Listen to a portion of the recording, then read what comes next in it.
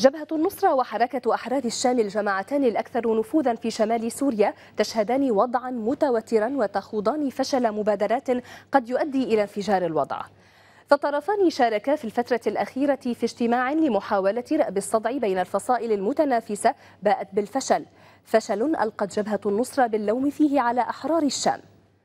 لم تحل محاولات الاتفاق هذه دون منع اشتباك بين مسلحي الفريقين بعدها بأيام قليلة في مدينتي سلقين وحارم في محافظة إدلب قرب الحدود مع تركيا حيث بات نشوب حرب بينهما قاب قوسين أو أدنى بحسب مصادر من أحرار الشام بعدما لقي أفراد من الجانبين حتفهم في الاشتباكات تلك.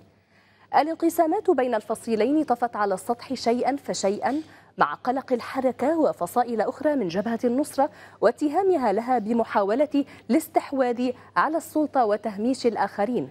الجبهة والحركة كانتا قد تعاونتا لفترة وجيزة مع غيرهما من الجماعات العام الماضي في تحالف مع جيش الفتح لكن ذلك لم يدم مع غياب الثقة بين الجهتين. جبهة النصرة تتهم حركة أحرار الشام بأنها واجهة لتركيا تنفذ أجندتها لتكون طرفا في أي اتفاق سياسي لحكم سوريا في المستقبل. وزعيم جبهة النصرة أبو محمد الجولاني مستعد حتى لتغيير اسم جماعته مقابل الاتفاق لكنه يرفض الخضوع للشروط بقطع العلاقة مع تنظيم القاعدة بحسب مصادر المسلحين.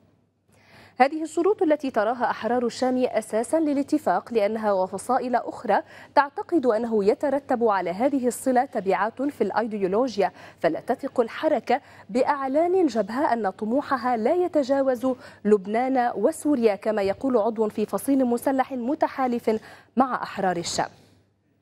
وبالتزامن مع تعارض النصرة مع الأطراف المسلحة جلها تخوض الجبهة حاليا مواجهة مع داعش بعد احتلاله مواقعها في الملاهي في جرود عرسال اللبنانية وقتل وأسر عدد من مسلحيها. فيما كانت الغوطة الشرقية ومخيم اليرموك. شاهدين على معارك بين جيش الإسلام وتنظيم داعش أيضا حيث تدور حرب بينهما.